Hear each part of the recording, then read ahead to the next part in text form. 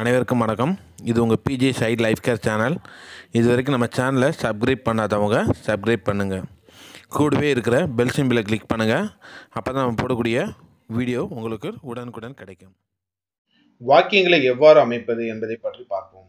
ஒரு சென்டென்ஸ் எப்படி உருவாக்குறது அப்படிங்கிறத பற்றி பார்ப்போம். ஒரு வாக்கியத்தை நிறைவு செய்ய எஸ்விஓ பேட்டர்ன் முறை தேவைப்படுகிறது. ஸோ சப்ஜெக்ட் வெர்ப் ஆப்ஜெக்ட் இது மூணு சேர்ந்தால் தான் ஒரு வாக்கியம் நிறைவடையும். ஓகேங்களா? ஒரு சென்டென்ஸ் கம்ப்ளீட் ஆகணும்னா இது மூணு சேரணும். இப்போ பார்த்தீங்கன்னா ப்ரெசன்ட் டென்ஸ் அப்படின்னா நிகழ்காலம். இந்த ப்ரெசன்ட் டென்ஸ் நம்ம எங்கே பயன்படுத்துவோம் அப்படின்னா ஜென்ரலாக ஒருத்தர் நார்மலாக பேசும்போது இந்த ப்ரெசன்ட் டென்ஸ் தாங்க யூஸ் பண்ணுவோம் ஸோ இந்த ப்ரெசன்ட் டென்ஸ் ஒருத்தர் வந்து நார்மலாக பேசும்போது உரையாடும் பொழுது ஸோ நல்லா இருக்கீங்களா? சாப்பிட்டீங்களா? என்ன பண்ணுறீங்க இந்த மாதிரி ஒரு விஷயத்தை கேட்கும்போது இந்த ப்ரெசன்ட் டென்ஸ் தான் யூஸ் பண்ணுவோம். ஸோ பாஸ்ட் டென்ஸுங்கிறது முடிஞ்ச விஷயத்தை பற்றி பேசும்போது யூஸ் பண்ணுவோம் அதே போல் ஃபியூச்சர் டென்ஸ் வந்து இனிமேல் நடக்கக்கூடிய விஷயத்தை பற்றி பேசுவோம். ஸோ இப்போ நான் சொல்கிறேன் பாருங்கள் ப்ரெசன்ட் டென்ஸில் என்னன்னு தெரிஞ்சுக்கோங்க. ஐ யூ வி டே இந்த மூணு வரும்போது வெர்பு அப்படியே வருங்க. வெர்பு மாறவே மாறாது. என்ன வெர்பு இருந்துச்சோ அதே வெர்பு அப்படியே வரும். அதே போல் ஹீ ஷி இட் அதுக்கு வந்து வெர்போட எஸ் வருங்க. ஸோ ஹீ ஷி இட் நம்ம யூஸ் பண்ணும்போது வெர்புடன் எஸ் சேர்க்கணும். ஸோ ஹீங்கிறது சப்ஜெக்டாக இருந்துச்சுன்னா வரக்கூடிய வெர்போட எஸ் வரும். சீங்கிறது சப்ஜெக்டாக இருந்துச்சுன்னா வரக்கூடிய வெறுப்போடு எஸ் வரும். சீங்கிறது இட்டுங்கிறது சப்ஜெக்டாக இருந்துச்சுன்னா வரக்கூடிய வெறுப்போடு எஸ் வரும். அப்படி நிறைய பேர் இந்த எஸ் சேர்க்க மாட்டாங்க. ஜென்ரலாக பேசும்போதும் சரி எழுதும்போதும் சரி எஸ் சேர்க்க மாட்டாங்க. ஆனால் கண்டிப்பாக சேர்க்கணும். அப்படி சேர்த்தோம்னா தான் அது கரெக்டான ப்ரெசன்ட் டென்ஸ் இப்போ அடுத்து பாருங்க எக்ஸாம்பிள் பார்ப்போம். இப்போ வந்து வெர்பு சொல்லியாச்சு இப்போ இதாங்க இதுதாங்க நமக்கு தேவை. ஒரு இங்கிலீஷ் பேசுறதுக்கு நமக்கு தேவை. இந்த வெர்காப்பில் இருக்காங்க இந்த வெர்காப்புலரியை நீங்கள் எவ்வளோ தான் நீங்கள் மெமரைஸ் பண்ணாலும் உங்களால் கண்டிப்பாக மெமரைஸ் பண்ண முடியாது. ஸோ நம்ம ஃபோர் ஹண்ட்ரட் வெர்காப்புலரி நீங்கள் எவ்வளோ தான் படித்து எழுதி பார்த்து மெமரைஸ் பண்ணாலும் உங்களால் மெமரைஸ் பண்ண முடியாது. ஸோ அப்போ எப்படி இந்த வெர்பாப்புலரியை நம்ம ஞாபகம் வச்சுக்கணும் அப்படின்னு பார்த்தீங்கன்னா ஸோ பேசணும். கொஞ்சம் பத்து பத்து வெர்பாய் எடுத்து உங்கள் ஃப்ரெண்ட்ஸோட ஷேர் பண்ணணும். ஸோ அவங்களோட பேசணும். ரெண்டு மூணு பேர் இதை வந்து ஷேர் பண்ணி பேசிக்கணும். இந்த வெர்பை பயன்படுத்தி நீங்கள் ஒரு சென்டென்ஸ் மேக் பண்ணணும். ஸோ அவங்களோட உரையாடணும். ஸோ கான்வர்சேஷன் ஸோ இந்த வெர்பை வச்சு நீங்கள் அவங்களோட ஒரு கான்வர்சேஷன் பண்ணணும். ஸோ அந்த மாதிரி கொஞ்சம் கொஞ்சமாக வெர்ப் எடுத்து அவங்களோட கான்வர்சேஷன் பண்ணும்போது அந்த வெர்பு உங்களுக்கு ஆட்டோமேட்டிக்காக மெமரைஸ் ஆயிரும். ஆனால் நீங்கள் எவ்வளோ தான் முக்கிய முக்கிய படிச்சிங்கனாலும் இந்த வெக்காபுலரி கண்டிப்பாக உங்களுக்கு மெமரைஸ் ஆகாது. ஸோ பேசுங்க.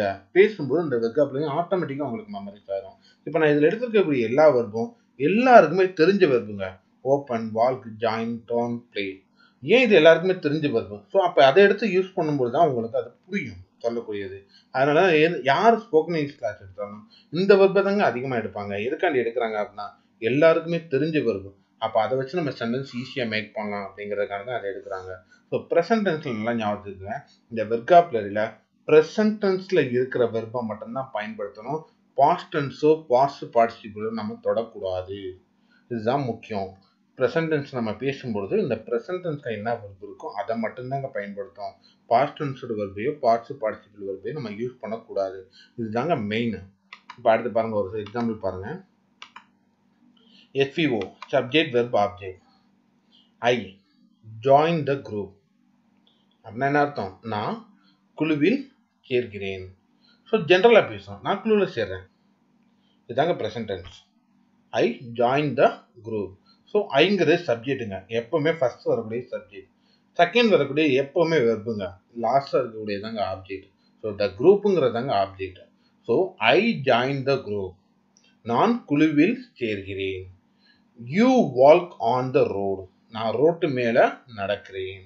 ஸோ இந்த மேல் ஆன் ஞாபகம் இருக்குங்களா? எப்போ யூஸ் பண்ணுறோன்னு so they play the cricket அவர்கள் cricket விளையாடுகிறார்கள். So subject they play verb so they on the the cricket is object he opens door அவன் கதவை திறக்கிறான். நல்லா பாருங்க. ஹீனா வந்து என்ன சொல்லியிருக்கேன்? எஸ் சேர்க்கணும். வெர்போட எஸ் கண்டிப்பாக சேர்க்கணும். ஹீ ஜாயின்ஸ் த ரோல் அவன் ரோட்டில் ஜாயின் பண்ணுறான் ஹீ பிளே த டோர் அவன் வந்து என்ன சொல்கிறான் பிளே டோரில் விளையாடுறான். ஸோ இது மாதிரி நம்ம சொல்லுவோம். ஸோ நல்லா ஞாபகங்க ஹீன்னு வந்துச்சுன்னா நம்ம எஸ் சேர்க்கணும். வர வெர்போட எஸ் சேர்க்கணும். இங்கே வந்து ஹீங்கிறது சப்ஜெக்ட் ஓப்பன் அப்படிங்கிறது வந்து verb டோருங்கிறது object so she walks on the road S பார்த்தீங்களா ஹீ ஷி இட் மூணுக்குமே நம்ம என்ன சேர்த்துக்கோம் S சேர்த்துக்கோம் she walks on the road அவள் ரோட்டின் மேல் நடக்கிறாள். ஸோ அவள் ரோட்டு மேல நடக்கிறாள் அப்படிங்கிறத சொல்லியிருக்கோம். So you turn the turns the road அது ரோட்டில் திரும்புகிறது. அப்படின்னா என்ன அர்த்தம்? அவன் வந்து ரோட்டில் திரும்புது அப்படின்றான் இப்போ இதில் பார்த்தீங்கன்னா எல்லா எக்ஸாம்லையும் பாருங்கள் ஐக்கு நம்ம வெர்போட எஸ் சேர்க்கல யூக்கு நம்ம வெர்போட எஸ் சேர்க்கல தேக்கும் நம்ம வெர்போட எஸ் சேர்க்கல. ஆனால் பார்த்தீங்கன்னா ஹீஷி ஈட்டுக்கு மட்டும் வெர்போட எஸ் சேர்க்குறோம்.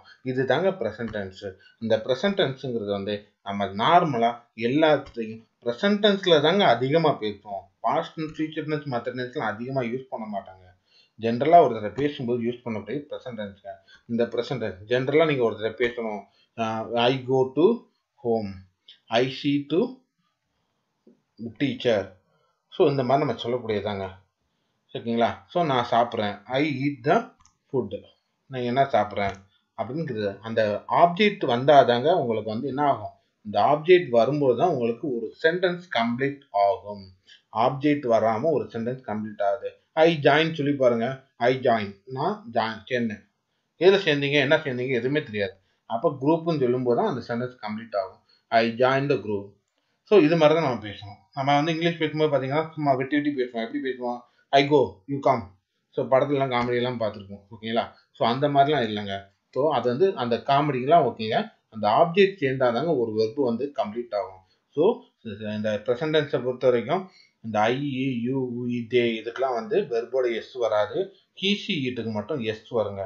இது தாங்க ப்ரெசன்டென்ஸ் இது வந்து நம்ம நார்மலாக பேசக்கூடியது. நெக்ஸ்ட் பாஸ்ட் டென்ஸ் பார்ப்போம். இறந்த காலம் முடிந்தது. ஸோ இந்த பாஸ்ட் டென்ஸ் பார்த்தீங்கன்னா எல்லாத்துக்குமே பாஸ்ட் ஃபார்மில் உள்ள வெர்பு மட்டும்தாங்க எடுக்கணும். இப்போ நமக்கு உள்ளதுலேயே குழப்பமானது இந்த பாஸ்ட் டென்ஸ் மட்டும்தாங்க. ப்ரெசன்ட் டென்ஸ் நம்ம எல்லாருமே ஈஸியாக பேசிடுவாங்க. அந்த பாஸ்ட் டென்ஸை நம்ம ரொம்ப குழப்போம் அந்த பாஸ்ட் டென்ஸ் நம்ம ஞாபகம் வச்சுக்க வேண்டியது அந்த பாஸ்ட் வெர்பு பாஸ்ட் டென்ஸ் வெர்காபுலரியில் வெர்காபுலரியில் உள்ள அந்த பாஸ்ட் வெர்ப் தாங்க நமக்கு முக்கியம். ஸோ ப்ரெசன்ட் டென்ஸ்னா ப்ரெசன்ட் வெர்ப் எடுக்கணும். பாஸ்ட் டென்ஸ்னால் பாஸ்ட் வெர்ப் எடுக்கணும். ஸோ இது தாங்க முக்கியம். அடுத்து பாருங்கள் எக்ஸாம்பிள் பாருங்கள் ஐ கேம் டு ஸ்கூல் பாருங்க. கேம் அது வந்து பாஸ்ட் டென்ஸ் கம்ங்கிறது தான் ப்ரெசன்ட் டென்ஸுங்க கேம்ங்கிறது பா so I came to school நான் பள்ளிக்கு போனேன் அப்படின்னு சொல்கிறோம் யூ ப்ரோக் எ பென் நீ என் பெண்ணை நீ ஒரு பேனாவை உடைத்தாய். அவன் முடிஞ்சிருச்சு. அப்போ B ran the play the ground அப்போ என்ன பண்ண நான் நாம் விளையாட்டு மைதானத்தில் ஓடினோம். அப்போ அது முடிஞ்சிருச்சுங்க. விளையாட்டு மைதானத்தில் ஓடினாங்க. அது முடிஞ்ச விஷயம். ஹி பாத் ஏ கார் அவன் கார் வாங்கினான். அவன் வந்து ஒரு கார் வாங்கிட்டாங்க. சி சென்ட் த லெட்டர் அவள் கடிதம் அனுப்பினாள். இங்கே பாருங்க வெர்போட ஹீசி இட்டுக்கு எஸ் வராதுங்க. ஏன்னா இது வந்து பாஸ்ட் டென்ஸ் ப்ரெசன்ட் டென்ஸில் மட்டும்தான் ஹீசி இட்டுக்கு எஸ் வரணும். பாஸ்ட் டென்ஸுக்கு பாஸ்ட் ஃபார்ம் மட்டும்தான் வரணும். வெர்காப்லரியோட பாஸ்ட் ஃபார்மில் தான் நமக்கு வரணும். ஸோ அப்போ தான் வந்து என்ன பண்ண முடியும்? இது வந்து பாஸ்ட் டென்ஸ்னு சொல்ல முடியும். ஸோ நம்ம என்ன தான் ட்ரை பண்ணாலும் இந்த பாஸ்ட் சில கரெக்ஷன்ஸ் நிறையா வருங்க. ஏன்னா எல்லாராலையும் அந்த பாஸ்ட் டென்ஸ் வந்து டக்குன்னு இது பண்ண முடியாது. ஸோ அந்த பாஸ்ட் டென்ஸ் கொஞ்சம் கற்றுக்கிட்டோம்னா இன்னும் கொஞ்சம் நல்லா பண்ணலாம். சரிங்களா? ஸோ அதனால் பாஸ்ட் டென்ஸ் பார்த்துக்கோங்க இருக்கலே ரொம்ப ஈஸி நம்ம ஃபியூச்சர் டென்ஸை பற்றி பார்ப்போம். ஐ வில் ஐக்கு விக்கும் வில் வருங்க. இந்த வில் எப்போ யூஸ் பண்ணோம் அப்படின்னா கட்டாயப்படுத்தும் வேண்டும். கட்டாயமாக ஒரு விஷயத்தை செய்யும்போது வில் யூஸ் பண்ணுவாங்க இல்லைன்னா நார்மலாகவே நீங்கள் வந்து யூஸ் பண்ணிக்கலாம்.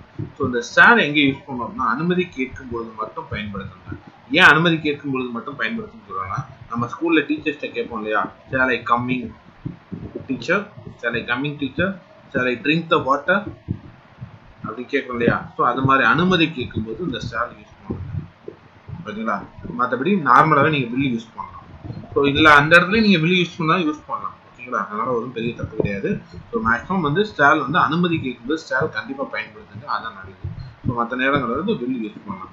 கீசி ஈட்டுக்கு வந்து வில்லு தாங்க. வில் மட்டுமே பயன்படுத்த முடியும் அதனால இது எல்லாமே வில்லுங்கிறதுனால இந்த ஃபியூச்சர் டென்ஸுங்கிறது ரொம்ப ரொம்ப ஈஸிங்க பாருங்க. இப்போ வெர்காபுலரி எடுத்துக்கணும். இந்த ஃபியூச்சர் டென்ஸுக்கு பார்த்தீங்கன்னா ப்ரெசன்ட் வெர்ப் தாங்க எடுக்கணும். இந்த பாஸ்ட் வெர்போ பாஸ்ட் பார்ட்டிசிபிள் வெர்போ எடுக்கக்கூடாது.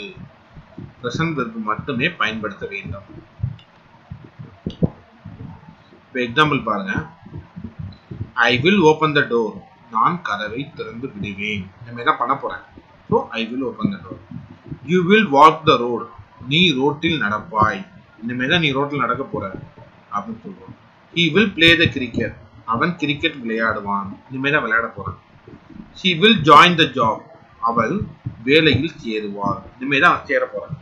ஸோ இதுதாங்க ஃபியூச்சர் ட்ரெண்ட் எல்லாத்தையும் பாருங்க வில் வருங்க. ஸோ பார்த்தீங்கன்னா ப்ரெசன்ட் டென்ஸையும் ஃபியூச்சர் டென்ஸையும் கம்பேர் பண்ணுங்க ரொம்ப ஈஸிங்க ப்ரெசன்ட் டென்ஸ்னா என்னங்க?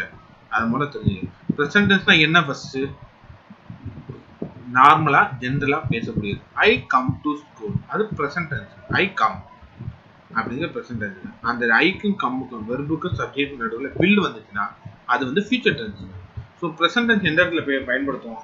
இப்போ நார்மலாக பேசும்போது நல்லா இருக்கீங்களா? அவர் என்ன செய்றீங்க? வாட் ஆர் யூ டூயிங் நான் ஸ்கூலுக்கு போகிறேன் அப்படின்னு சொல்லுவாங்க நான் I go I go to school I go to school அப்படின்னா அவ்வளோதாங்க இது இந்த ஜென்ரலாக பேசுவாங்க நார்மலாக அப்போ பர்சன்டேஜ் யூஸ் பண்ணுங்க. அதே வந்து அவள் ஸ்கூலுக்கு போகிறான்னா அவன் ஸ்கூலுக்கு போகிறா he goes the school S சேர்க்கணுங்க. He சீட்டுக்கு எஸ் சேர்க்கணும். அதை மறந்துடாது ஓகேங்களா இப்போ அதே மாதிரி வந்து ஃபியூச்சர் டென்ஸ் பாருங்க. ஐ கோ டு ஸ்கூல் அப்படின்னா present tense I will go to ஸ்கூல்னா future tense அப்போ அந்த வில் எங்கெங்க யூஸ் பண்ணணும்? இனிமேல் நடத்தக்கூடியது. இனிமேல் செய்யக்கூடிய ஒரு விஷயத்தை செய்யும்போது வில் இருக்கும். அப்போ நான் வந்து இனிமேல் ஃபேனை ஆன் பண்ணுவேன். I I will on the fan seat so I will இனிமேல் தான் பண்ண போகிறேன் அப்போ நீங்கள் எப்போல்லாம் வந்து எந்த ஒரு விஷயத்தை இனிமேல் செய்ய போகிறீங்களோ அப்போ சப்ஜெக்ட்டுக்கு அடுத்து வில்லுங்கிற வெர்பை யூஸ் பண்ணி நீங்கள் பேசினீங்கனாலே அது வந்து ஃபியூச்சர் டென்ஸ் ஸோ ப்ரெசன்ட் டென்ஸுங்கிறது நார்மலாக இருக்க ப்ரெசன்ட் வெர்ப் எடுத்து நீங்கள் பேசலாம். பாஸ்ட் டென்ஸ் மட்டும்தான் கொஞ்சம் கஷ்டம். ஏன்னா அந்த பாஸ்ட் டென்ஸோட வெர்பை நம்ம ஞாபகம் வச்சுக்கிட்டா மட்டும்தான் பாஸ்ட் டென்ஸை நம்ம கரெக்டாக பேச முடியும். அதே போல் நம்ம ஒரு ஸ்டோரி டெல்லிங் சொல்லும்போது எப்போவுமே பாஸ்ட் டென்ஸில் தாங்க சொல்லணும். அதாங்க கரெக்டான முறை. ப்ரெசன்ட் டென்ஸை ஈஸியாக மேக் பண்ணலாம். ஆனால் பாஸ்ட் டென்ஸில் தான் அதை சொல்லணும். அதுதான் சரியான முறை. அப்போ பாஸ்ட் டென்ஸ் தேவைப்படும் ஏன்னா நம்ம கதை சொல்லும்போது என்ன சொல்லுவோம்? ஒரு ஊரில் ராஜா இருந்தாராம். இருந்தாராம். அப்போ அது முடிஞ்சது. அவர் இருந்தார். அவர் எல்லாருக்கும் சாப்பாடு கொடுத்தாராம். அப்ப அவர் கொடுத்தாரு. முடிஞ்சிருச்சு. நம்ம முடிஞ்ச விஷயத்தை யூஸ் பண்ணும்போது பாஸ்டன்ஸ் அதனால தான் ஸ்டோரி டெல்லிங்கை வந்து நம்ம பாஸ்டன்ஸ் டென்ஸ் பயன்படுத்துறதுன்னு ரீசன் தான் ஸோ அதனால் பாஸ்டன்ஸு பயன்படுத்துங்க. ஸோ இதுதான் வந்து spoken English so present tense and past tense and future tense so இதை வந்து ஈஸியாக நீங்கள் இங்கிலீஷ் பேசுறதுக்கு பயன்படுத்திக்கலாம் ஜென்ரலாக பாருங்க. Present tense past future tense இதை கம்பேர் பண்ணி பாருங்க. ஐ கம் டு ஸ்கூல் அப்படிங்கிறப்ப வந்து நீங்கள் தமிழ் கலந்துக்கிறாமல் நீங்கள் இங்கிலீஷில் மட்டுமே தான் கற்றுக்கணும் இதுக்கு தமிழ் மீனிங் எழுதி கற்றுக்கிட்டா உங்களால் இங்கிலீஷ் கற்றுக்க முடியாது. கொஞ்சம் ரொம்ப டிலே ஆகும். பாருங்க.